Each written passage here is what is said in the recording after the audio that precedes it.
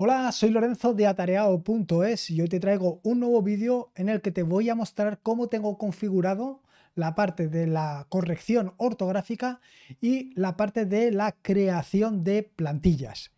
Actualmente em, la parte de corrección ortográfica solamente la estoy aplicando a los archivos Markdown porque básicamente como ya te he comentado en alguna ocasión Utilizo eh, Markdown para preparar tanto las notas de los vídeos como las notas de los podcasts, como los artículos de atareado.es. Todo esto lo hago utilizando Markdown.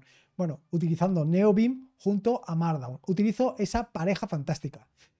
Ahora bien, eh, evidentemente uno de los problemas que tenía inicialmente cuando empecé a trabajar con Markdown y con NeoBeam es la corrección ortográfica es inevitable. Es inevitable que se nos pasen acentos, que se nos pasen eh, determinadas faltas ortográficas y conviene, es muy conveniente tener un corrector ortográfico. Así que uno de los primeros pasos que hago siempre cuando instalo BIM o NeoBIM es instalar el corrector ortográfico.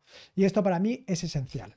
Así que en este, en este vídeo te voy a mostrar primero cómo instalar el corrector ortográfico, pero no solamente esto. Otra de las cosas que suelo hacer habitualmente es utilizar plantillas. Por ejemplo, para a la hora de hacer o de escribir un script para lo que sea, normalmente lo que tengo es un encabezado donde viene a definir la línea de ejecución, el, el shebang, que se suele decir, y luego normalmente añado la licencia. En función de que sea Python, en función de que sea un script en Bash, todo esto lo hago habitualmente. Pero claro, hacer esto cada vez es algo realmente tedioso, con lo cual normalmente lo obvio, normalmente lo evito y lo evito utilizando las plantillas. Así que en este vídeo te voy a enseñar cómo tengo yo configurado tanto la corrección ortográfica, tanto eh, la parte de plantillas. En ambos casos lo tengo configurado utilizando NeoBeam con Lua. Eh, como lenguaje de scripting para la configuración de NeoBeam. No, básicamente ya no utilizo Beam Script.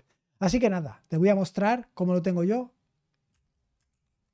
Y creo que te lo voy a mostrar en mi propio equipo. Vamos a irnos a cd config neobeam, vale. Y vamos a irnos a eh, aquí a Lua settings. Perfecto.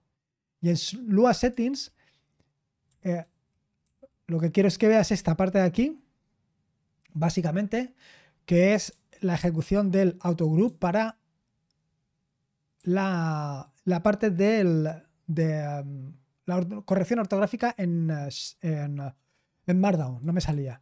En esta lo que defino es que va a utilizar como lenguaje el, el español y para todos los archivos que sean pues Markdown. Vale, esto sería el primer paso, pero no solamente esto, sino que ahora me voy a salir y te voy a mostrar que aquí tengo un directorio que se llama spell y en este directorio tengo todos los archivos necesarios. Estos archivos los puedes, por supuesto, descargar desde el repositorio de atareado.es, de GitHub de atareado.es. Y ahí encontrarás todos estos archivos. A ver, perfecto. Esto es la parte de, como te digo, de la parte de las de la corrección ortográfica, que para mí es fundamental, evidentemente. Este además se va actualizando poco a poco porque conforme voy añadiendo pues determinadas cuestiones pues se van añadiendo. Bueno, no sé si se añaden aquí, la verdad. Vale. Esto una parte. Y luego la otra parte que te quería mostrar es la parte de los templates, de las plantillas. vamos a ir a la parte de las plantillas que está aquí abajo. La parte de las plantillas es un poquito más molonga.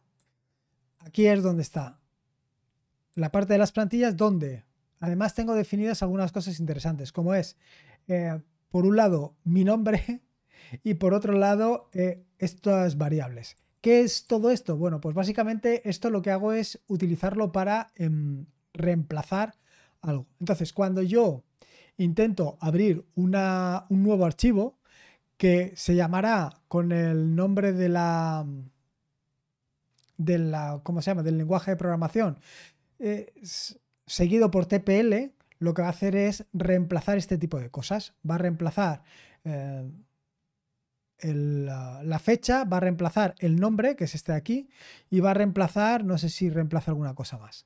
Vamos a irnos a este directorio para que veas que está en templates, cd templates, Y aquí actualmente tengo dos.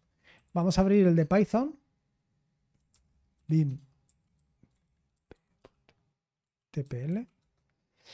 Si te das cuenta, aquí es lo que yo te estaba diciendo. Tienes year y name. Lo que va a hacer es reemplazar estos dos, pues por el año y por el nombre. Y aquí toda la parte del Shebang, toda la parte de la llamada al Python 3 y la parte de la codificación ya la tengo preparada, con lo cual todo esto me lo ahorro rápidamente.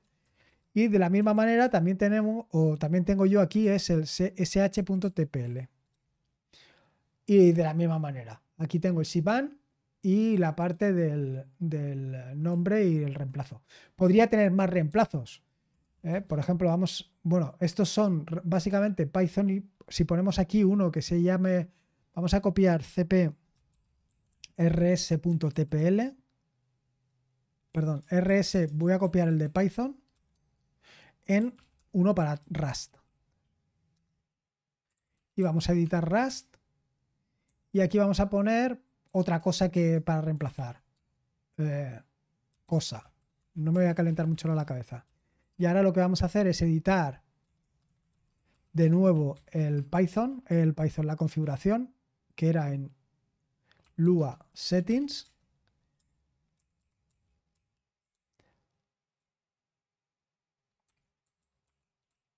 Y lo que vamos a hacer aquí es, en vez de poner name, vamos a poner cosa. Y le vamos a poner que cosa lo reemplace por pues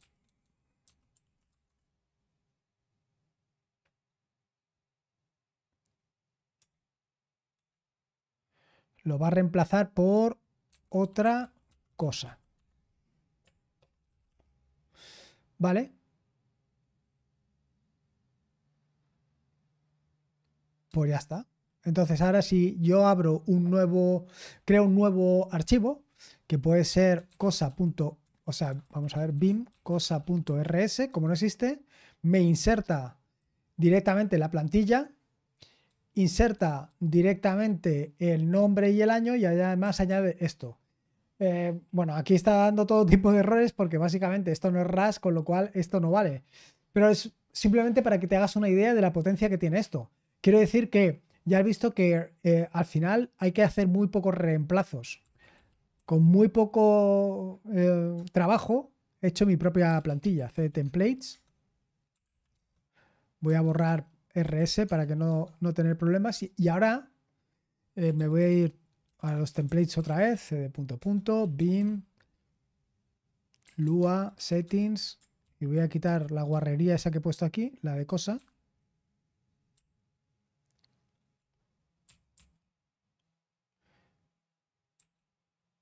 Y ya está. Esta parte de aquí lo que me permite es reemplazar por más cosas. ¿Vale? Pero esto ya es para más, para, más premio.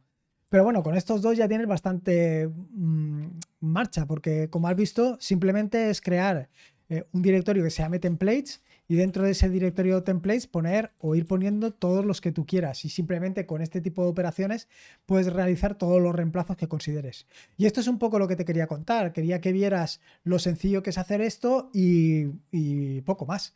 En el siguiente vídeo lo que voy a hacer es mostrarte cómo eh, utilizar Packer cómo utilizar este, esta herramienta para empaquetado, bueno, para empaquetado, para instalar complementos. Actualmente Packer es la que estoy utilizando para toda la parte de complementos de Lua, bueno, de complementos de BIM y, con Lua. Y la verdad es que funciona muy bien, es muy sencillito y eh, es fantástico. Por lo menos eso es lo que me parece a mí. Y poco más. Esto es lo que te quería mostrar y nada, nos vemos en un siguiente vídeo de configuración de NeoBIM. Hasta luego.